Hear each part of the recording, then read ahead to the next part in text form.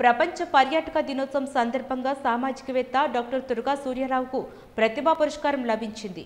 Visakha travels tourism foundation నిర్వహణలో hotel దసపల్లాలో జరిగిన జూబ్లీ ఎక్సలెన్స్ అవార్డు రెండు వేల ఇరవై రెండు కార్యక్రమంలో ఫౌండర్ అండ్ డైరెక్టర్ మణిభూషణం రబ్ group India presents association will TD tourism and VTTA founder ఆధ్వర్యంలో ఈ వేడుకలు జరిగాయి.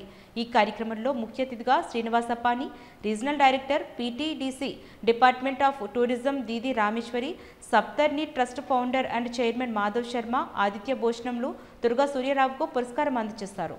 టూరిస్టిజం కూడా నడపాలని. అంటే అనేక టూరిస్టులు ఉన్నాయి ఏదో తీసుకెళ్తారు తీసుకొచ్చేస్తారు. అలా కాదు.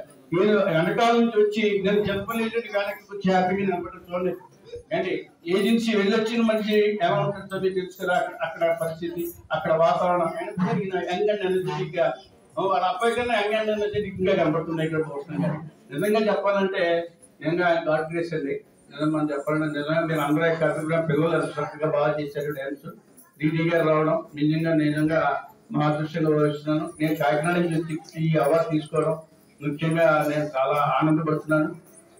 మనం విశాఖపట్నం డెవలప్మెంట్ చేయాలి అంటే ఎలాంటి టూరిజం శాఖ వల్ల మనం చాలా అవుతుంది కాబట్టి అన్ని ప్రదేశాలు చర్చిలు అయితేనే అలాగేమో మసీదులు అయితేనే అలాగే మన గుళ్ళు అయితేనే మొత్తం టోటల్గా టోటల్గా అన్నీ అన్ని కలిపి టూరిజం అన్నదాన్ని ఆయన కాన్సెప్ట్ చాలా బాగుండాలి.